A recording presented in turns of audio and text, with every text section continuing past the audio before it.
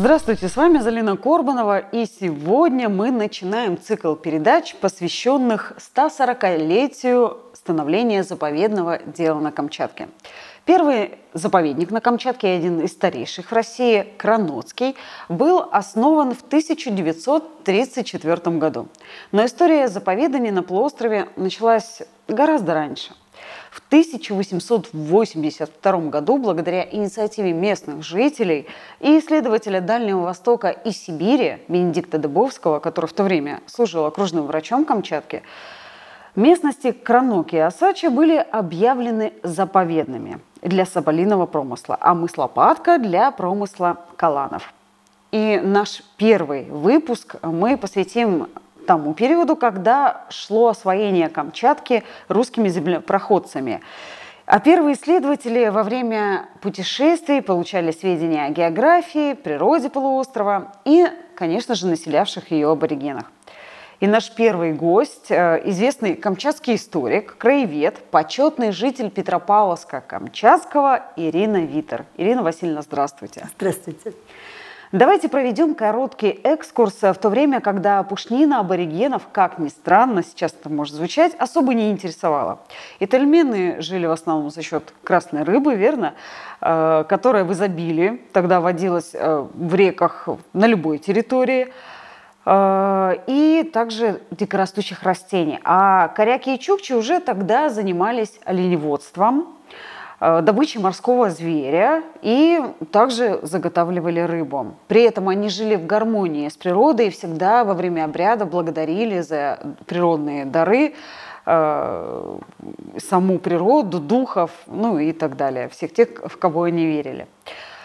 Пришлые же люди, те самые первопроходцы, те, кто осваивали Камчатку, они жили там издревле, они сразу оценили богатейшие запасы пушнины, которые были на Камчатке, как отличный источник для пополнения государственной казны. И вот, Ирина Васильевна, расскажите, пожалуйста, каким образом шло освоение Камчатки э, тогда, как это сказалось на жизни коренных народов, ну и, конечно же, в первую очередь на состоянии природных ресурсов? Ну, если так действительно сказать, коренные жители – пришлые жители. Но это было не так все просто и не так однозначно. Потому что российский человек перешел Уральский хребет только в конце XVI века. До этого они э, жили в европейской части, осваивали север, ходили по северу на кочах. А, и Сибирь, Уральский хребет их, собственно, ну как бы был границей, потому что здесь было царство Кучума. Здесь была татаро-монгольская страна, которая абсолютно не давала особо двинуться в эту сторону. И вот после падения царства Кучума это был сложный процесс. Это не просто так пришли, завоевали. Это были договорная какая-то система. Это были э, одни племена пошли против других племен. Э, русское войско поддержало эти племена. И в итоге э, было покорено это царство Кучума, и русские получили прямой путь сюда, в сибирскую, на сибирскую территорию. Но еще чуть пораньше, в общем-то, вопросы о том, что же здесь вот лежит за, за этим Уральским хребтом, конечно же, занимали русского человека. А Соболь-то водился раньше и в э, землях, можно сказать, и европейских лесах нашей страны. А, и поэтому ну, Соболя постепенно выбили, потому что был ценный мех. А тут еще и в Европе сложились, э, уже изменяется ситуация. Появляется, открывается Америка, появляются э, испанские корабли, которые возят э, какие-то предметы роскоши. То есть зона Подня... экспорта расширяется? Да, зона экспорта расширяется, появляется больше возможностей торговли, чем торговать. У России были, торговали довольно такими, ну, к, к роскоши никак это не подходило. И когда начали, обратили внимание на вот пушнину, и тем более Европа как бы подогрела интерес к пушнине, то оказалось, что, оказывается, и Соболь интересен Европе, и лисица, интересная в Европе, но горностай – это тот королевский царский мех, который мы знаем по всем э, одеждам, которые видим даже на каких-то э, работах художников. И именно поэтому движение россиян началось очень быстрое, потому что соболь – это была валюта. То есть, получается, это, это был госзаказ э, прямой это на был поставку заказ ресурса. того времени. Россия, российское государство было довольно бедным тогда. Постоянные войны со Швецией, которая никак не, не было выхода к морю. Мы знаем, что выход к морю только появился при Петре Первом. Э, поэтому здесь государство. Только закончилась татаро-монгольская ига. Россия была обескровлена э, бедная страна по существу. И поэтому появление вот этого продукта, который был так необходим, послужил тому, что сюда пошли, двинулись первые землепроходцы. Шли они, конечно, очень сложные условия были, и шли они, вышли, когда они к рекам Сибири, шли по рекам, конечно, появляются, сразу появляется первое строение, где очень много было немирных жителей. Именно поэтому сразу ставился острог, огораживался стеной, ставились стражи по углам. И именно это была как база для освоения вот какой-то территории. На Камчатке так, по такой же схеме шли? Абсолютно. Они шли постепенно, э, основываются города, причем если смотреть по датам образования, как они э, образовываются, это очень быстро. Тобольск, Тюмень, Братск, Иркутск. Вот движение идет э, землепроходцев сюда. Соболя выбиваются в какой, на какой-то территории, двигаются дальше. Потому что вот это освоение Сибири – это по существу борьба с пушным зверем. Если То есть, сказать. получается, уже э, выбивание зверя уже да. шло тогда? Да, начиная с 17 века начинается постепенное движение – землепроходцев, они шли за пушниной. Это была чистая экономика. Причем, как только основывался острог, как только собиралась первая пушнина, сразу э, приходила администрация. И так шло освоение Сибири постепенно.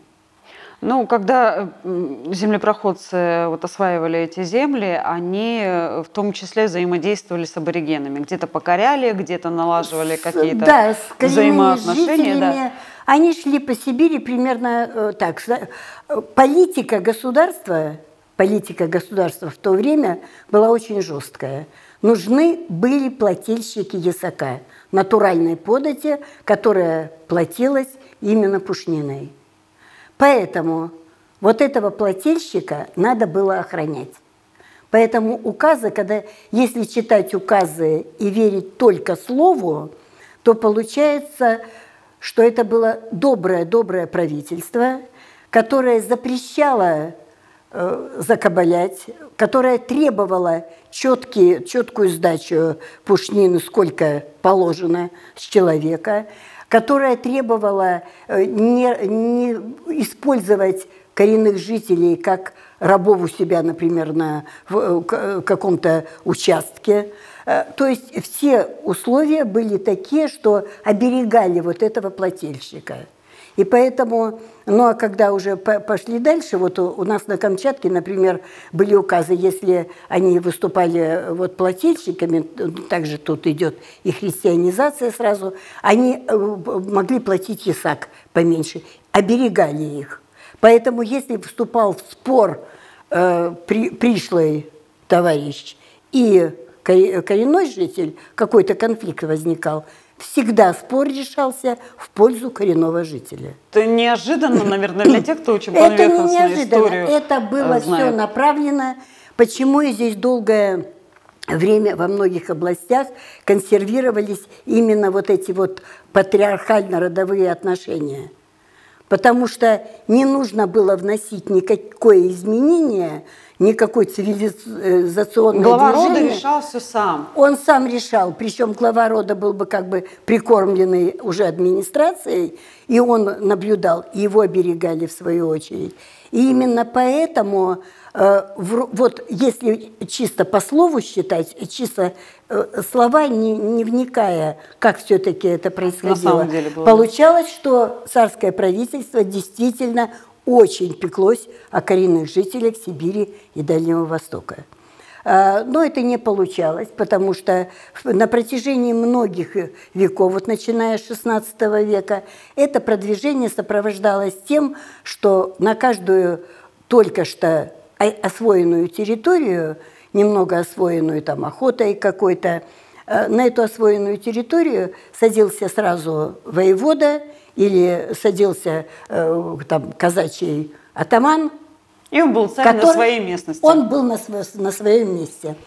Москва далеко, сибирский приказ Твори, далеко, который пишет приказы, причем сибирский приказ – это была структура, которая отправляла и собирала. Она собирала весь ЯСАК, причем это было очень сложно. Где-то только лет через шесть вложенные деньги – в добычу соболя отдавали отдачу, не меньше. Потому что соболя надо было, ну не только соболя, пушнина это и горностай, это и белка, это и э, лисица разная, и чернобурая, и красная лисица, и сиводущатая лисица. То есть э, весь пушной зверь шел. Но есть такие вот, приводят примеры некоторые – Например, э, были проданы две лисицы чернобурые за 110 рублей. На эти 110 рублей в то время можно было приобрести 55 гектаров земли, построить дом, приобрести 5 коров, 20 лошадей, 20 баранов, еще домашнюю птицу. Еще это, это вот если, состояние да, получается. Но если учитывать, что во времена, когда уже пришел сюда на Камчатку Владимир Атласов, у него было за, жалование казака было 5 рублей в год. В год. Ну что ж, неудивительно, что при таких условиях зверя выбивали Выбивали нещадно, причем Соболя сразу выбивали, и он сразу стал считаться по 40 штук в вязке. 10 сороков, 40 сороков и так далее. Ну, то есть можно представить себе масштабы. Да, масштабы. Это было живое вот, богатство, на которое не рисковали все деньги потратить, какие имеются, заложить все, что есть. И практически освоение Сибири идет промышленник, строит остроги, а за ним через некоторое время – буквально сразу правительство увидело российское, что не хватает хлеба, не хватает овощей, нужен крестьянин. И стали отправлять сюда крестьян. Появляется население. Буквально за 10 лет э, население в 10 раз увеличивается в Ну, это тоже влияет и на это природу, все, это и поля, это, это все, конечно. и так далее. И все. А Соболь все-таки оставался самым таким привлекательным, но он самый дорогой.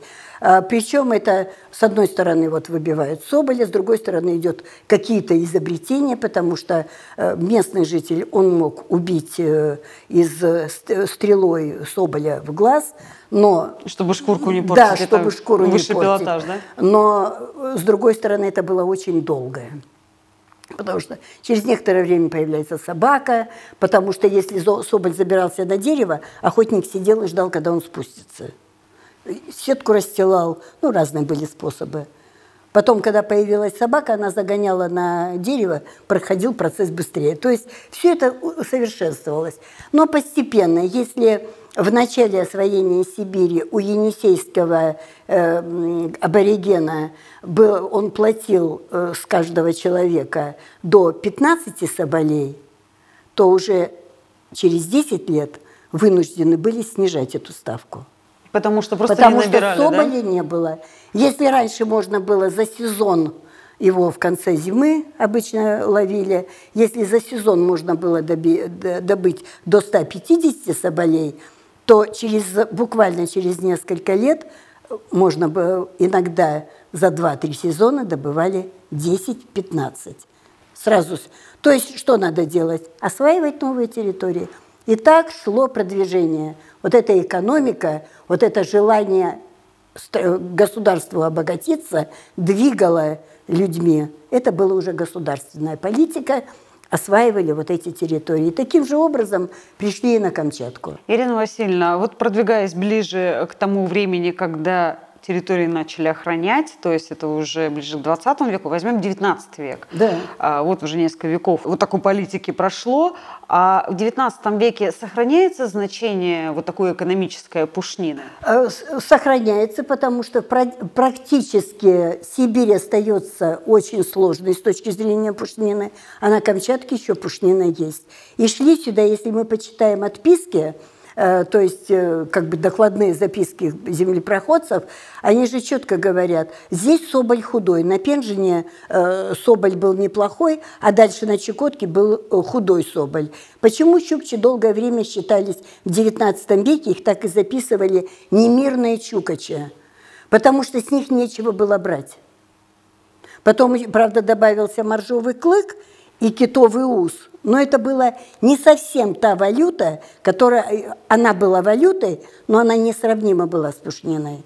И на Камчатке вообще по, вот, э, по ленинградским аукционам, которые когда-то проходили в советское время, э, там э, считалось, что Камчатский Соболь, он один из лучших. Он стоял после Баргузинского на втором месте. Вот. Потому что условия климатические хорошие, э, снега вот почему-то благоприятствовали э, именно появлению черного соболя. Ценились более крупные, конечно, черные, ну, у нас чисто, действительно, у нас крупные соболи. И э, Владимир Атласов привез как раз в Россию тот ясак, до этого тоже собирали ясак. Из Стадухина, из Морозка собирали с Камчатки ясак. И именно, но есть такое мнение у некоторых историков, что в принципе Камчатка была открыта уже до Атласова. Но казаки держали эту территорию для себя. А, то есть особо не раскрывая, что да, есть такой источник. что здесь есть такое место и с таким соболем. И вот только Владимир Атласов, чисто как государственный человек, увидел собрал и присоединил Камчатку к российскому государству. То есть он подарил Камчатку российскому государству. И вот тогда-то и началось, ну, та, та же, то же, что и по Сибири. Богатство, которое надо... А брали как? Был окладной ясак, то есть сколько положено на взрослого человека. Э, на Камчатке был очень малое количество, один соболь. Это что-то вроде подушевого, да, такого налога? Да, ну подушевой да? налог да. на каждого человека, только там сдавали как, э, там, овощами, зерном. У нас э, был э, соболь, пушнина, потому что делились на соболятников, на собольников, даже украшенинникова, и лисичников. Лисица у нас была чернобурая, красная, камчатская лисица, уникальная лисица вообще, потому что она и по цвету, и по размеру. И сиводущатая лисица. А помесь это что черно... за лисица? Вот, помесь говоря, чернобурой, помесь чернобурой с, с красной. Она ось имеет черную, а вернее, ось, вот сама ось черная, а подпушек э, оранжевый. Ага. Она очень красивая. Вот. И, и, соответственно, крупная. Очень Владимир ценная. Атласов, ко всему прочему, привез и калана. Калана тоже, Россия познакомилась с Каланом через Владимира Атласова. Именно поэтому уже в 19-20 веке возникает необходимость охранять, охранять Калана на э, лопатке, а Соболя э, в, в, на, самом, на самой территории Камчатки. Почему э, коренные жители, вы правильно сказали, они их не использовали? Слишком много усилий для охоты на пушного зверя надо потратить. А смысла особо? Смысла он такой нету. ценности, как он для нашего государства, для них абсолютно. его не съешь. Его, когда вот э, сдавали ЕСАК, то он, ну, сдавали, это товарообмен был очень долгое время, не денежный обмен, а именно товарный. Отдавали натуральную подать, отдавали пушнину, за это получали взамен какое-то поощрение. Когда вступает уже, когда излишки появляются, а излишки когда появляются? Когда излишка у тебя есть, он еще и нужен и тому сборщику ясака. Именно поэтому вот это все идет. Причем вот эта сдача ясака, перевозка с Камчатки в европейскую часть, она продиктовала, что, ко всему прочему, открытие морского пути сюда, потому что пешеходный маршрут был очень сложно сухопутный. А некоторые за несколько лет иногда собирали ясак, чтобы были большие обозы, и они мирные коряки грабили обозы, забирали эту пушнину. То есть Государство, и проще терпело, морем, морем пойти, государство да? терпело убыток. Именно поэтому и возникает указ Петра Первого найти морской путь на Камчатку. Вот так. И Получается, что наша логистика география... оплачена шкурками вот этих э, шкурками, бедных Но да, недаром же животных. говорят, что в течение ста лет русский человек продвинулся через всю огромную Сибирь и вышел к Тихому океану. И всего 80 лет понадобилось, чтобы выйти на берега Америки. Это уже шкурка Калана. Опять пушнина. Вот есть шелковый путь, а у нас, получается, у был нас меховой. пушной путь, да. да. Пушной, пушной. У нас пушной путь. путь. Ирина Васильевна, еще такой вопрос. А, есть а, несколько тоже очень знаменитых имен, связанных с, исследов... с первыми исследованиями а, Камчатки. Это, конечно же, Степан Крашенинников, Георг Стеллер, Карл фон Дитмар. Вот такой вопрос. Понятное дело, что они подробно описывали саму территорию, но вот э, сколько было отведено в их трудах э, именно природной теме, э, тому, что произрастает на Камчатке, тому, кто живет на Камчатке, какие животные, птицы, там, рыбы водятся в реках и так далее. То есть ну, какая доля вот по тем знаете, временам доля огромная, уделялась? правда. Это все потому, что и у Стейлера, и у Крашенинникова главы о рыбах, о птицах, о сухопутных животных, о морских животных. У них прямо целая глава этому посвящена. А, но все-таки большее описание идет, во-первых, сама природа описывается. Именно из, из их трудов мы знаем, сколько рыбы здесь было в реках, сколько зверя здесь ходило, а, как добывали, чем добывали. То есть именно знания вот эти первые мы получаем от них. Сначала от, из отписок землепроходцев, потом из, из записей ученых. И именно от них мы узнаем, что ведь когда пришел сюда первый землепроходец, если его можно так назвать, первый, когда он потребовал ЕСАК, местному жителю это было не совсем понятно и не совсем понятно, зачем. Почему, он, почему были какие-то восстания и тельменов, и коряков, причем мощное восстание? Да потому что сначала непонятно, э, что я буду время тратить на это, которое мне нужно на э, то, чтобы я запасся продуктами на зиму. А с другой стороны, ведь э, пришлый товарищ берет окладной ясак, ясак сколько положено, не окладной, сколько я возьму, а еще и сверх чего-нибудь за умершего сына, за умершего отца. Да и вот просто от жадности еще сколько-нибудь Да, у тебя есть, все да. возьмешь. Поэтому и возникали восстания, потому что э, ну, чувствовали, что их обкрадывают. Но пушнина, она оставалась все равно вот именно... И когда описывают все эти исследователи Камчатку, во-первых, сначала и сама природа, а потом именно через человека, как он осваивал это. Способы охоты, способы питания, э, э, вся пищевая база. То есть в любом случае это как ресурс Это ресурс. Это в первую ресурс. очередь как ресурс. Почему? Э, ведь у них, у коренных жителей, у них было комплексное ведение хозяйства. Он не мог прожить только рыба, рыба, рыболовством. Он охотился на мясного пушного, на, на мясного зверя, на пушного – это продукт, который он платил государству и получал за это какие-то э, ножи, мог получать огнестрельное оружие по, чуть позже. Ну, какая-то небольшая это доля все, все равно это все за пушнину, для да. себя. Да. Продукты какие-то, потом появляется сахар, чай, то есть табак, то есть то, что нужно просто в хозяйстве, он не выращивает его. Э, то, что произрастает, это шло тоже э, в питание. Это все комплексное ведение.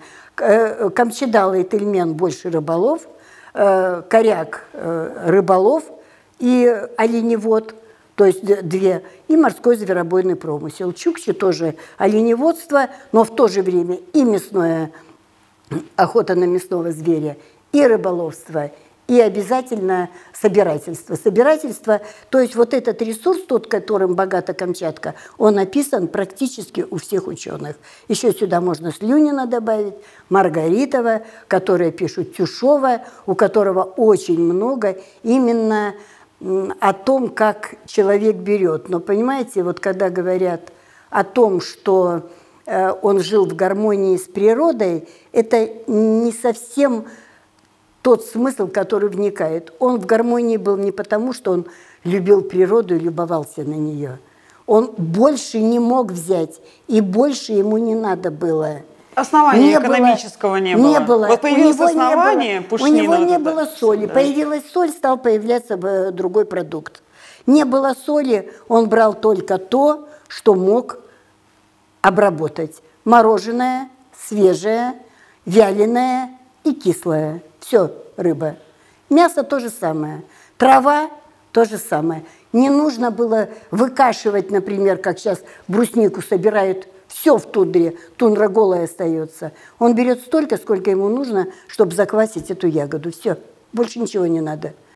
Ирина Васильевна, еще одно имя, э, мы сейчас уже возвращаемся да, к теме непосредственно. век это да, как раз пушнина идет, да, увеличивается, ясак идет, натуральная подать у нас на Камчатке была до начала 20-х годов 20 -го века. Каюрная повинность и сбор ясака оставался на Камчатке до этих времен. И поэтому, но ресурс ограничен, природа не, без, не бездонна, она имеет предел, почему мы сейчас все чаще и чаще обращаемся к этому. И именно поэтому уже появляются мысли, ну, во-первых, э, и политика такая, опять-таки, сохранение человека, который сдает ЯСАК, но в то же время ограничения идут. Потому что даже здесь наблюдается по документам, были так называемые запуски Соболя. Некоторые года сами жители объявляли запретными, сами жители объявляли запретными на, для охоты на Соболя. То есть они как бы сами пытались регулировать. Но вообще вот такой более серьезный подход, это, конечно, с появлением здесь Бенедикта Ивановича Дубовского. Фигура очень интересная, вообще человек интересный. Э, у него он родился на, на Западе, в тех э, областях, которые то Белоруссия, то Литва, то Польша. Поэтому его иногда считают польским, э, польским сильным и прямо акцентируют на это. Но надо отметить то, что у нас были и датчане в нашей истории, и шведы, и немцы, и поляки, но все они получили славу как ученые, как великие люди, как мореплаватели, как российские подданные. Они были российскими подданными. И поэтому этот человек, он участвовал в польском восстании, но он в своей автобиографии очень интересно пишет, обтекаемо. Ну, по некоторым обстоятельствам мне пришлось оказаться в Сибири. Его сослали в Сибирь, его при, приговорили к повешению за участие в польском собра... Э, восстании январское, так называемое, 1863 года. Но потом заменили по ходатайству ученых, потому что он уже был довольно интересной такой фигурой в ученом мире, э, заменили 12 лет каторгами, каторгой. Он был в Сибири, на лесозаготовках работал. Но попутно собирал птиц, собирал растения – делал чучела, причем даже зарабатывал на этом. А чучела более, он более 400 штук, штук отправил в Варшавский музей. И вот каким образом вот это вот все, что он делал, оно каким образом потом повлияло на начало э, заповедного дела? А, потому что он, э, во-первых, видел эту природу, он же описал Байкал, его даже предлагало географическое общество Русское географическое общество, дать ему приставку «Байкальский». Он был бы Дыбовский, Байкальский, так же, как Семенов Теньшанский, То есть человек, который э, описал на Байкале множество э, новых видов. Он э, пошел, э, ну, он был чисто дарвинистом по своему э, как бы научному восприятию. Он полностью изменил представление, что, во-первых, э, Байкал полумертвое озеро – и что на Байкале птицы такие же, как и вообще все, все аналогично европейской части. Он полностью разбил эту теорию, доказал это, и занимался он Байкалом очень плотно. На Амуре много занимался. И когда его уже освободили, то есть он уже получил вольную, он сам попросился на Камчатку. Потому что Камчатка, и, э, ну, она и сейчас мало исследована так вплотную, а в XIX веке это была вообще ну, мало земля, знакомая абсолютно. территория, которая только могла привлечь вот э, этих людей с таким великим умом и с такой жаждой знаний. И ведь именно э, Дыбовский, он и повлиял на ситуацию с э, Соболем Да, потому что он опять здесь занялся, он окружной врач. Прибыл он сюда окружным врачом, э, но окружной врач ездит по, по селам, и он видел вот это все. И бедность поселков, несмотря на то, что они все практически охотники и пушнину собирают, он видел это и видел, с каким это трудом достигается. И чем и дальше, видел, тем с большим И чем дальше, тем видно было. И он вот как раз и по его ходатайству вышло решение о сделать заповедными Осачу и Краноки. Это то, что это будущее по существу нашего Кранотского заповедника. И именно поэтому дата вот это 1882 год, когда было подписано это ходатайство, но я знаю, что в документах его не могут найти. Его искал и Никаноров в свое время, и Масолов искали эти документы. Дело в том, что это вернее всего в документах приамурского губернатора. Мы подчинялись приамурскому губернатору, а это распоряжение губернаторская. Это не указ, ничего. Но именно по распоряжению объявили вот эти, вот эти территории заповедными. Ну вот, возможно, вот, это, эти документы где-то все-таки где хранятся, а может быть, даже они и учтены и в каком-то э, хранении музейном небольшого поселка или может библиотечном, быть, вполне возможно. но просто там не представляют, какую важность этот документ имеет э, для, нас, для нашей да. да, историографии. Но мы, видите, да. мы четко знаем, что в 82 году, в 1880 1972 году вышло решение, распоряжение такое, а, и охотиться разрешили в определенное время, то есть уже сроки охоты были установлены.